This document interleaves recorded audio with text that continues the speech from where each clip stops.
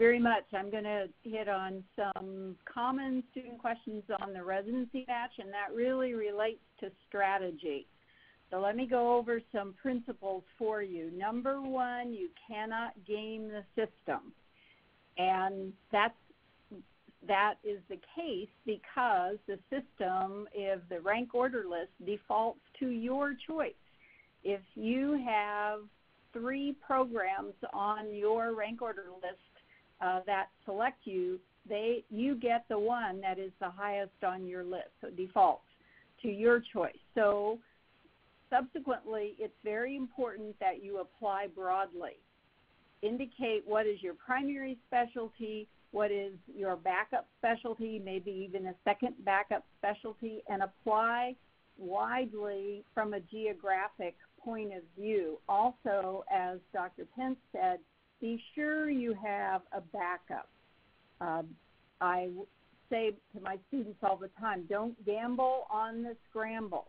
That is not working out to people's advantage. So put down as many places as you would consider going as well thinking, well, I'll just put the top two places that I really want, and then after that, I'll just list some TRI or some transitional year programs. That is not a good option. Let me give you an example.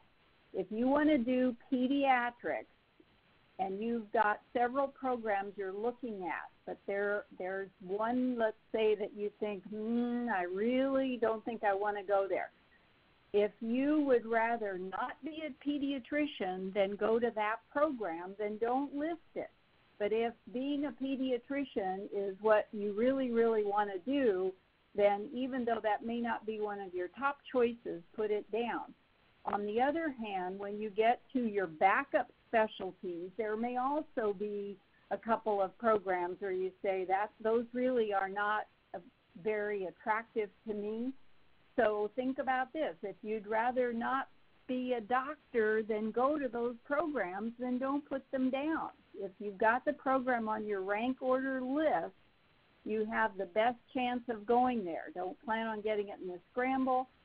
If you are in, are willing to go to that program, if you got it in the scramble, then put it on your rank order list. Additionally, uh, saying um, that that uh, my best advice comes from other people that I'm talking to uh, is probably not the best approach either. You need to talk to your to your dean's office, to your school, and they will give you the best advice with the most current information. Now, there's one other situation where where I think people need to give some thought, and this ha- really has nothing to do with a single accreditation system. It has to do with the fact that we have two matches for graduates of osteopathic uh, colleges. And this is this is that difficult situation where a on a program that's only in the NRMP match is your number one, and a program that's only in your NMS match is your number two.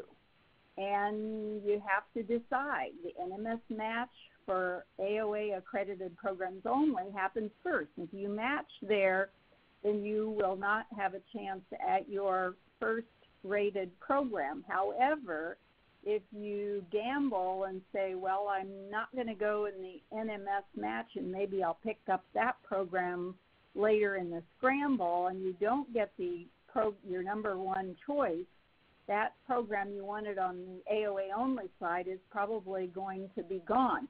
On the other hand, having the option to have two matches is still very much of a benefit because the programs that put uh, positions in the the uh, AOA match uh, for you, then will there will be fewer people in the, in that match. So that is to your advantage. If a program is in both matches, which they can do, then ask them which match should you should you participate in, and which where should you put them on the rank order list. You can put them on. You can put that program on both rank order lists if if you choose to do so. again, my best advice is go back to your own school to get the information, uh, and the things have changed every year. Actually, in this situation, as Dr. Pence said, they're changing sometimes even on a daily basis. Ask the programs what they're doing, where you should match. They're expecting you to ask those kinds of program, those kinds of questions. And even someone who matched a couple of years ago uh, may not be aware of the things that have changed at this point. So we're just putting out as much information as possible. I'm going to stop now and turn it back over to Dr. Shannon, but wish you well.